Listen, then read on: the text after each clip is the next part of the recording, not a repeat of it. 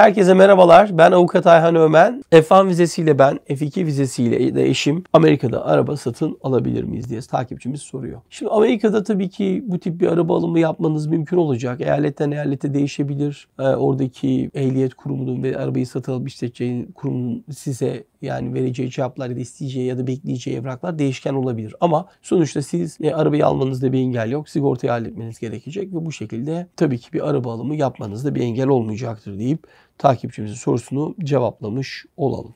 Müzik